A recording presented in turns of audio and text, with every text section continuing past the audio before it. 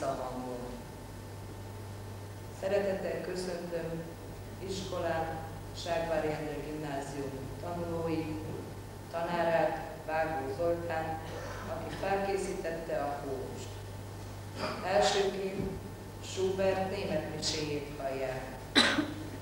A romantikus dalirodalom nagymestere kevesen ismerik, kevesen tudják, alkotott egyházi kórusműveket is. Ezek körül hallgatunk most meg egyet.